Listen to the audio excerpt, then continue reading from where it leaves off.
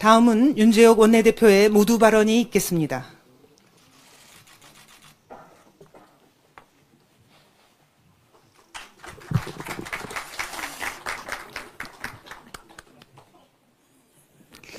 먼저 문경 화재 현장에서 순직하신 소방대원 고 김수광 소방교님과 고 박수훈 소방사님의 명복을 빕니다.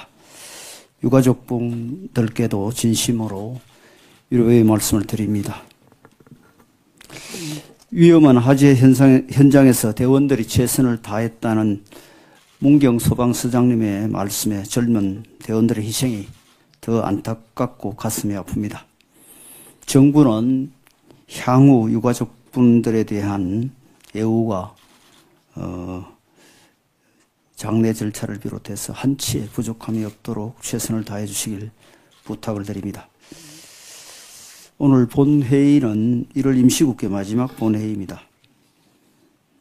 어, 오늘 보도를 통해서 보셨겠지만 뭐 중대재해처벌법 50인 미만 사업장에 대한 적용 유예와 관련해서 음, 야당하고 지속적으로 협상을 해 오고 있습니다. 야당의 요구를 그동안 뭐 들어줄 수 있는 건다 들어줬고 또 마지막으로 야당이 요구하는 것이 산업안전보건청을 설치를 해달라 해서 어, 어, 산업안전보건청의 명칭을 산업안전보건지원청으로 어, 바꾸고 또 그 기관의 역할도 어, 단속이나 수사 부분을 좀 음, 현장에서 새로운 규제에 대한 두려움이 있기 때문에 그 부분을 드러내고 어, 예방이라든지 지원이라든지 이렇게 할 수 있는 조직으로 어, 그 고용노동부에 설치하는 것을 협상안으로 지금 민주당에 제시를 해놨습니다. 음, 오늘 의원총회에서 결정을 한다 했으니 조금 있으면 민주당 입장에 나올 것으로 생각합니다. 그 법안을 협상하면서 어, 저는 늘 그렇게 생각하고 있습니다. 민생을 위한 일이라면은 어, 우리 당 입장에서 사실 어, 조금 부당한 요구라도 민생이라는 명분을 우리가 더 소중하게 생각하기 때문에 어, 가급적 어, 양보하고 또 설득하고 어, 그런 노력들을 하고 있습니다. 그래서 50인 미만 사업장이 83만 여 개가 되고 또 거기에 종사하시는 분이 800만 명이 되는데 이 800만 명이 사실 절실합니다. 여러분 알다시피 특히 건설 현장 같은 데는 보통 뭐 대여섯 명, 많아야 열 명 데리고 현장을 이곳저곳 다니면서 일하는데 만약에 이 법이 시행이 되면은 뭐 사고에 대한 걱정 또 그걸로 인한 처벌이 처벌에 대한 두려움으로 사람을 줄이거나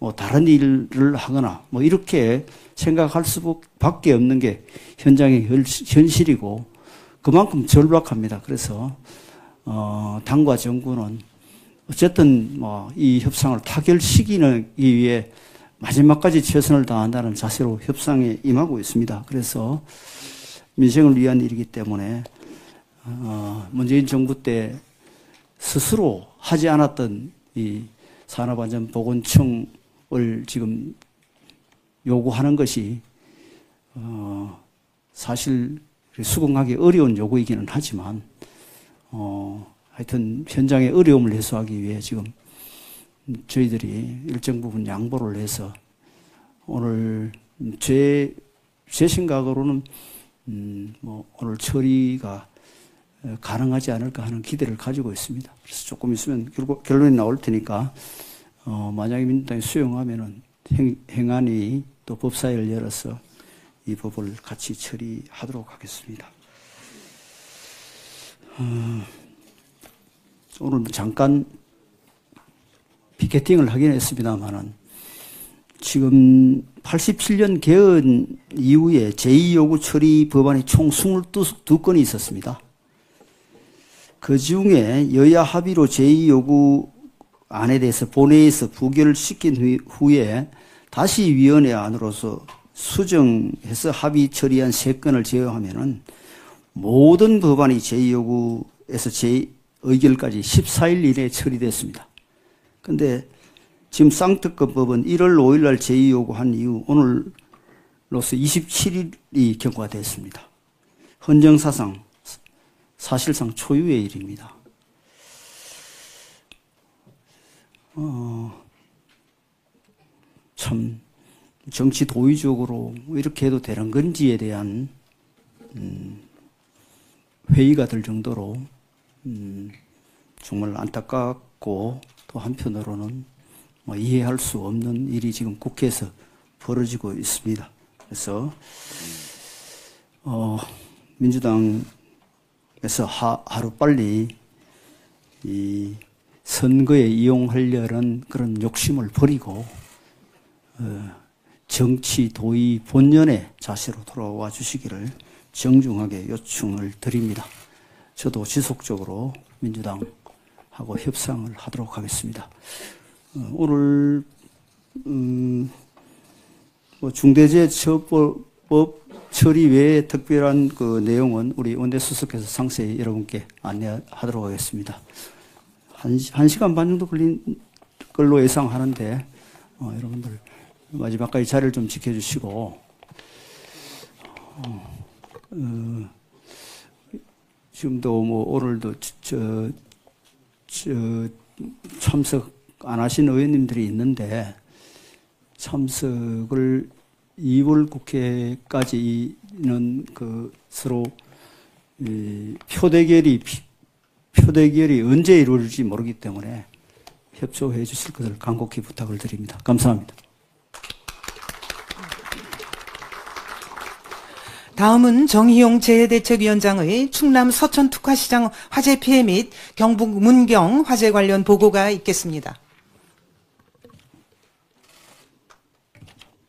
예, 재대책위원장 정의용입니다. 먼저 어, 문경 화재 진압 중에 순직하신 두 분의 소방관 분들의 명복을 빌며 유가족 분들께도 위로의 말씀을 드리겠습니다. 어, 충남 서천 특화시장 화재 피해 복구를 위한 당원 성금 모금을 관련해서 보고드리겠습니다. 지난 1월 23일 윤석열 대통령님과 한동훈 비대위원장님께서 화재 현장을 살피고 지원 대책을 점검하였습니다.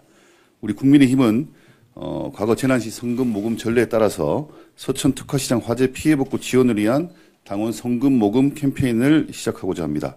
모금 기간은 오늘부터 15일까지로 하고 어, 많은 분들께서 동참하실 수 있도록 의원님들의 참여와 어, 전달의 말씀을 부탁드리겠습니다. 또한 두 돌아가신 두 분의 소방 공무원에 대한 추모 성금 어, 기부에도 의원님들의 적극적인 협조를 요청드리겠습니다. 우리 국민의힘은 항상 어려움을 겪으시는 국민들과 함께하겠습니다. 세부적인 사항은 원내 행정국에서 따로 알려드리도록 하겠습니다. 고맙습니다. 다음 순서부터는 비공개로 진행하겠습니다. 언론인 및 보좌진 여러분의 협조를 부탁드립니다.